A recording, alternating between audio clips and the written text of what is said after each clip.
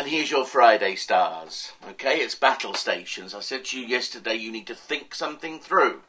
And certainly if you've slept on it, you should now know which way you're going to go. And it should be a single minded attack, and the target should be anything or anyone, whether it's an official uh, department or anything really, where you can make an appeal to people's better judgment. And if necessary, get a lawyer or a, a representative who's got the facts, who knows who knows the weaknesses of the opposition because it's through that weakness that you will be able to bombard them and come out the conqueror.